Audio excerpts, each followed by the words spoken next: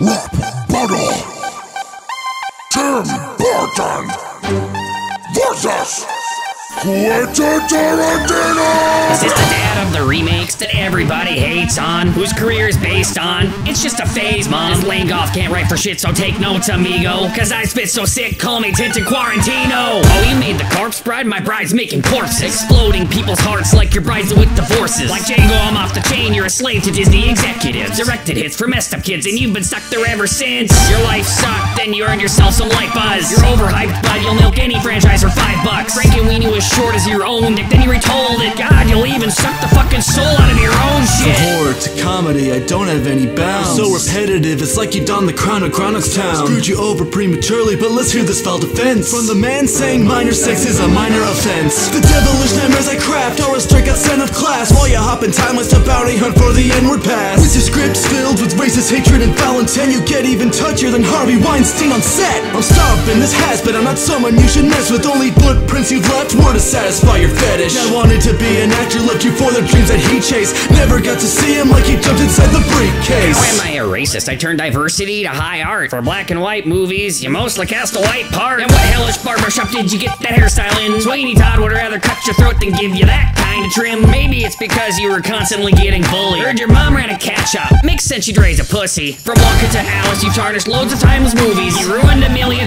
cause your own was kinda booty. No matter how much you decide to curse your creativity, your own creations would still circle you out as the biggest creep. Thought you were known to bring a bloodshed battle, but tonight my giant peach is smoking your red apple. My Dutch tilts twisting all the trunked up raps. You brought skedaddle off because your cuts cannot dodge these panning shots. I'm savage, dog. Your writing style clearly shows in your rapping with dying slugging dialogue that never gets to the action. You've got so much drive and so much passion, but less of that drive matter stop Uma Thurman from crashing.